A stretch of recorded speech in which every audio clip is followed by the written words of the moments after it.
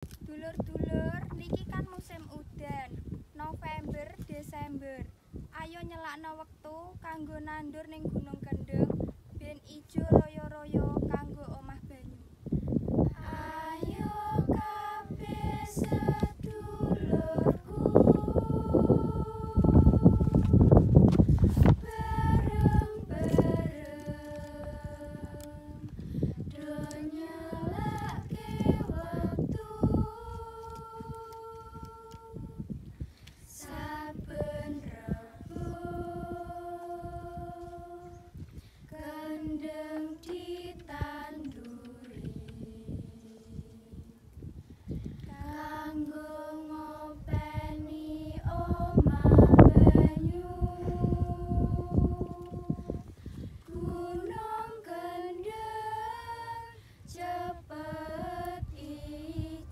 you.